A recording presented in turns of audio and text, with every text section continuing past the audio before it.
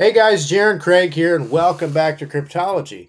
Uh, I went on like a one month hiatus, but I was looking through my raw files the other day and I happened to come across a video that I think is essential for anyone that uses Binance Smart Chain or Pancake Swap and wants to buy those tokens.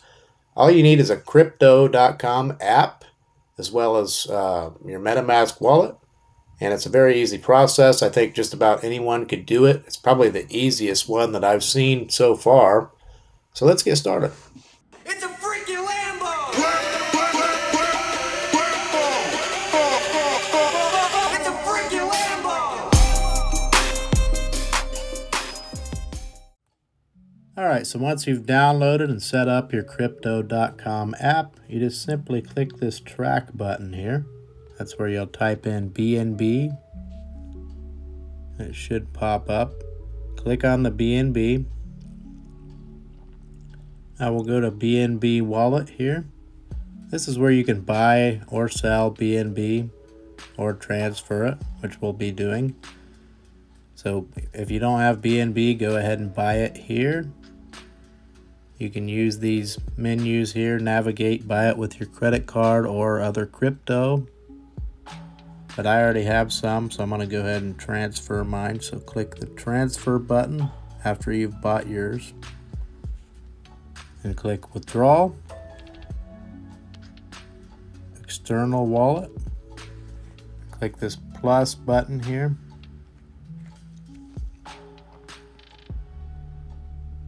Now we're going to go over to MetaMask you're going to want to be signed into BSC mainnet on MetaMask.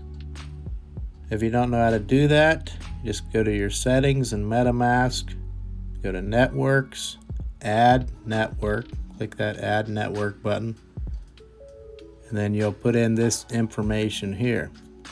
That's a quick crash course of how you add BSC to your MetaMask if you haven't already. But so we're going to copy this uh, wallet address here. We're going to paste it in here. Make sure you select BSC on the network.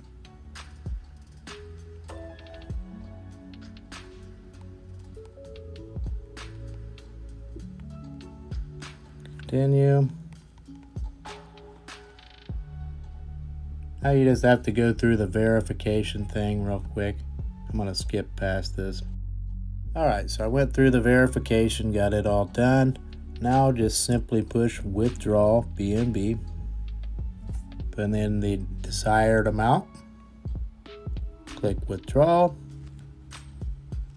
Now you'll see all the details as well as the network type, the fees, etc., etc., which is very low fees if you withdraw to BSC. Now click confirm.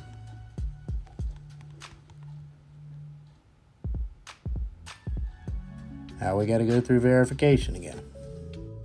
All right, so the withdrawal request has been submitted. Sometimes it takes a few minutes, could take up to a half hour or so.